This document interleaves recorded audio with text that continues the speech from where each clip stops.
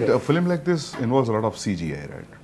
Too much. Yeah. A lot. I mean, But have you always been a kind of master of directors need to understand CGI before yeah, they get into the that, movie? but uh, Right? this is on a different level, sir. But this Yeah. is your first So, but film, ultimately, so I'll tell you, much- unless Yeah, and yeah, until yeah, you so much. jump into the pit, you, don't actually know. do not understand yeah, the, yeah. the depth of it. That's the right expression for CGI. Yeah, I mean, like I think I think Because- while ma- yeah while Yeah, making because nobody gives the right uh, information. Yeah. See, unless and until you get yourself into it, you really wouldn't understand the complications of CGI. Like what can be done. See, VFX is a complete different subject for people to learn, especially for for for filmmakers like you and Shiva. I think that's that's more important because it's not like, ha, you know, पीछे मशाल चाहिए CGI में रख दो. नहीं.